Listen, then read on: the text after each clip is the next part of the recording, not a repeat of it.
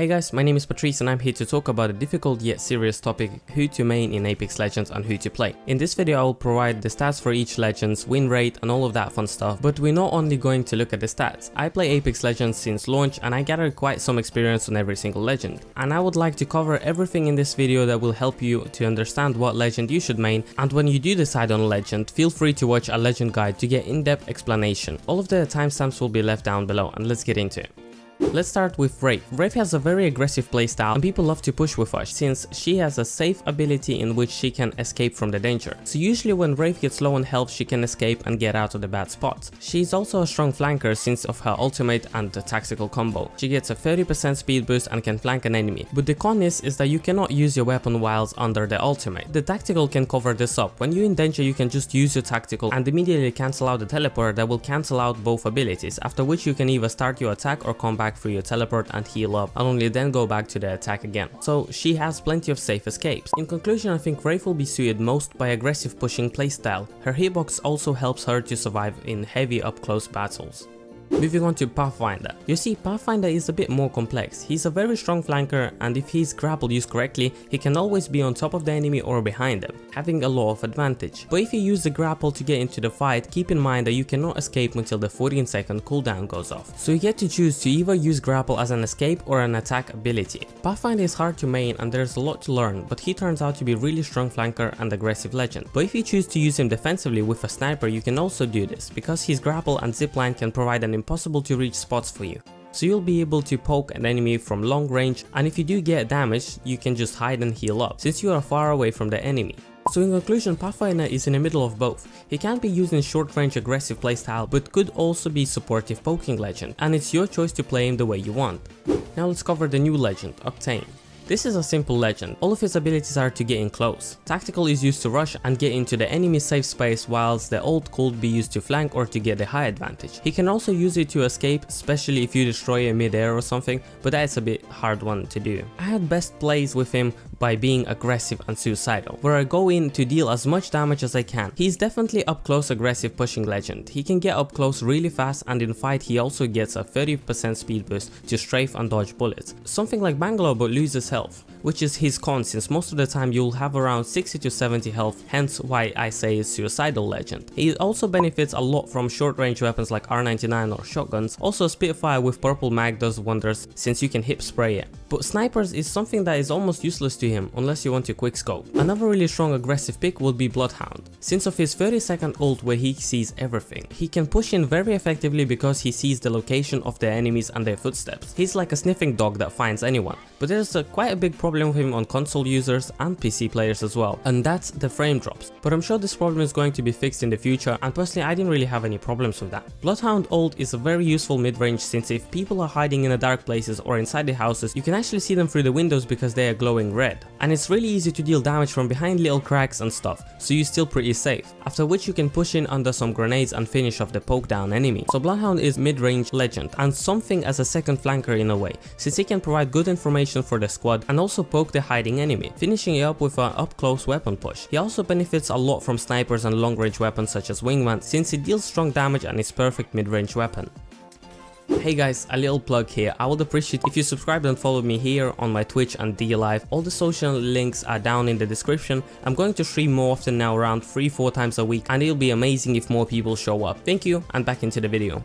Moving on to Lifeline. I probably played the most with Lifeline and from my experience she benefits from a mid-range fight where you can exchange some damage and heal yourself up with a drone and a shield cell. Since of your passive you heal faster and can almost always squeeze in a shield mid-fight. You can also use doors to block the enemies for a few seconds and that will give you enough time to get some heals in as well. Lifeline is perfect for mid-range and mostly mid-range. If you come too close then your abilities won't be able to help you and if you are very far away then the enemy will also have enough time to heal up. So it's more like you exchange some shots, throw in a shield and maybe another shield whilst bunny hopping towards the enemy that might be also trying to heal and then go on finish him with the pretty much full health. You can also squeeze in a shield whilst bunny hopping away and repositioning if you are getting pushed. So Lifeline playstyle is safe but not too safe and she was a perfect fit for me for a long time until I got a bit bored.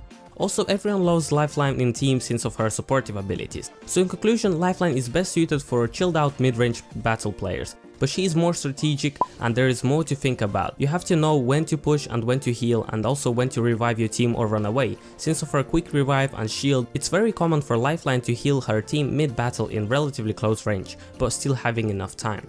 Now let's cover the thick boys as well, starting of Caustic. Caustic is best suited by camping playstyle. There's less people that prefer to play slowly and patiently, but they still exist. With his playstyle it's very easy to secure points. You can place 6 traps all over the place like supply ships or bunkers and have a lot of control over it. Yes, people can still shoot your traps down, but that will tell you if someone is coming. You can also block the doors inside buildings, which obviously also gives away if the enemy is pushing it. It took me some time to get used to his playstyle and adapt to it, but when I got a hang of it, it was a lot of fun, since even the entire squad versus me alone couldn't push me as fast since of the gas everywhere. And I make sure to explode the gas myself just to make sure that they don't break the trap before that. And on top of that you have an ultimate that is perfect for pushing out enemies out of their comfort zones. And combined with Octane you can even launch your traps just like the ultimate. Caustic is best suited by a slow-paced gamping playstyle and up-close weapons. Since his gas gives away the enemy positions, it's really useful to have mid to close range weapons so you can push the enemy who enters your comfort zone. But be ready if you don't have friends that play in similar way you will most likely be left on your own, so you will have to adapt and play half-half. Not too much camping and not too fast either. Caustic also benefits from cramped places instead of open areas. In open areas you can throw your gas around for cloud protection but in general you won't have escapes and can be easily shot since you are also a bigger target.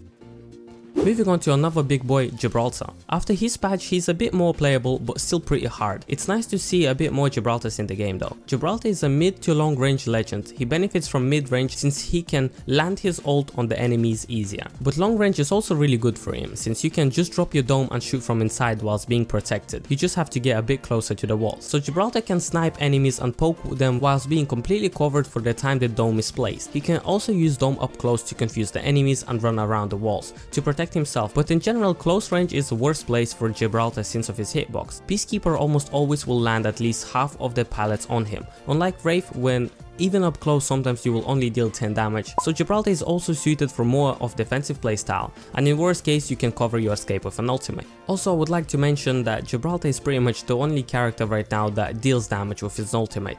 Other characters do have ultimate damage and some stuff, but Gibraltar can actually melt through enemy teams with his ultimate if landed correctly. So that's another really good pro for him. Alright, two more legends left and both of them are based on strategic playstyle. First, let's cover Mirage. The reason why I say he is strategic is because of his tactical and his ultimate. It's hard abilities that require some force since now it's a bit harder to bamboozle people. You have to use him more in up close fight where an enemy is on his toes so he accidentally messes up and shoots the decoy. Mirage is close to mid-range legend. He could be used from mid-range since you could send a decoy one way whilst coming out from the other angle and that will provide you with an extra second or a free shot. You could also use his ultimate to attack the enemy but it's hard to use it since you won't be able to stop it and you won't be able to use your weapon either. So you have to predict exactly where your ultimate will come off and come to an enemy just at the right time so you get your weapon back. There's also a technique you can use to make the decoys run instead of just standing in a circle so that adds more confusion. The tactical could also be used to block off shots. It does work as a very weak meat shield but it could cover you from one shot. It can be a peacekeeper shot or a sniper but it only covers from one. So against something like R99 it won't be really effective. In conclusion, Mirage is good for more strategic playstyle where you have to actually plan at least a little bit instead of just running in straight. He benefits from quiet flanking and slow paced playstyle and also has a good enough escapes to get out of the certain situations, but on open zones it's usually easy to see his cloak so try to keep yourself near cover. And last but not least, Bangalore. Also a very strategic legend, her ultimate isn't a great attack ability and needs to be used mostly for zoning and cutting off the enemy escapes, or if you're getting third party, you can use it to slow the other team down. And her tactical is also hard to use since it can help your team or distract them and cut off their vision. It needs to be used with caution. You can throw it at the enemy to cut off their shooting vision if they have advantage, or throw it on yourself to run away and heal up. But you have to keep in mind that Bloodhound and legendary sides can see through the smoke, so you need to keep those things in count. Bangalore is great for strategic and smart playstyle because of her abilities and in worst case you have 30% speed boost from her passive to save yourself and strafe in the close-up battle. It can also be used to attack or to escape. Bangalore benefits most from mid-range battles, but if you get a sniper legendary scope, then you can also do great in long range because the smoke throw range is also very long. You pretty much just dash it into the enemy so they can't see you but you can see them. Bangalore is a mix really. In my opinion, she is more of a support legend than Pathfinder is, but you could also use her aggressively and pushingly because of her passive and smoke covers. Alright, now we finished with all the legends, but there's still a few important things I want to talk about. First, I would like to bring up the stats. Okay, so I got this website playapex.net, it tracks up the matches and right now you can see that it tracks 65,000 matches. So what we can say from this currently is that Wraith is the most popular legend to play. And um, then it goes Octane because he's just came out, also Lifeline, Pathfinder are also very common to see and Bangalore. Then Bloodhound, Mirage, Caustic and Gibraltar are very rare. So for example, Gibraltar is 4.3% compared to Wraith almost 20%. So basically Wraith is played 4 times more than Gibraltar is. So we have to keep that in mind. When we look at something like win rate, we can see that Wraith is 19% chance of win rate. So most people that play with Wraith, uh, there's like 20% chance of a win rate in the match. But you have to also think of that she is the most popular legend right now and she's picked way more than somebody like Caustic. Pathfinder is actually picked less than Lifeline or Octane but still has bigger win rate chance. The reason is is because if Pathfinder used correctly and you learn to use his grapple, he's actually super strong legend as well. And now when his hitbox got fixed, he's pretty much like just as good as Wraith I would say in my opinion. Also a lot of like very good players that I know they actually play Pathfinders, I don't know why. Maybe that's the reason. From what we can see right now for the meta, we see that Wraith is most picked and Wraith has the biggest win rate. Pathfinder is not the most picked and he has really big win rate as well. Then it goes Lifeline, Octane, and it only gets worse from there. But somebody like Caustic, which is only 4%, which is 4 times less, he actually has 10% win rate, which is only twice as less. Up here we can see the top 3. So usually, uh, uh, how I understand this is um, uh, how often does like Wraith gets to top 3. It's 30% chance. Um, she is used most, but 30% chance is still pretty damn decent. And I would say like uh, like by playing Wraith you just have a bit more advantage in general because of the way her hitbox works and just in general that it's meta right now. And but looking at other characters like they don't have a bad scores as well. So Bangalore has actually a pretty decent score as well compared to Wraith. They are both really fast up close legends and they both can run away and hide. So I would assume that's why they are uh, like there's a high chance for them to get to top 3 because of their escaping abilities. Now the damage is right here, you can see the damage for Wraith and Pathfinder has uh, just the second damage output, even that he's played less and um, he has uh, he lands less top 3 times than Bangalore, he still has more damage output. Up here we can look at headshots and we can see that Pathfinder uh, has more headshots than Wraith. I would I would assume that that's because Pathfinder is always on the uh, higher grounds, you know, Pathfinder is always above for against the enemy. So by shooting from above to down, you pretty much always will be like very often, more often landing headshots. And if we look like kills, um, and Lifeline has pretty much similar stuff, which means that Lifeline actually gets pretty decent kills as well. I would assume that's because of her survivability and the way she heals up, she can get more kills. By looking at all these stats, we can I can just tell you that, you know, for example, if you, I don't know, if you feel like Wraith and Pathfinder is your choice, and the and Pathfinder is like what you want to play like, then you can just look at the stats and uh, by seeing these stats you can kind of understand that Pathfinder is pretty much same as Wraith so you don't actually have to just play Wraith because she's meta right now, you can also play Pathfinder because he's pretty much shifted in meta after the update as well. Generally analyzing the stats, if you will be choosing between somebody like Lifeline and uh, Gibraltar, for whatever reason you think like Gibraltar is nice support, then you can see that Gibraltar actually is like has weaker win rate, but he is also picked way less than anyone else. Um, so don't just look at the stats completely, you know. Um, he does have a bigger hitbox and stuff, so you're probably much better off going with somebody like Lifeline.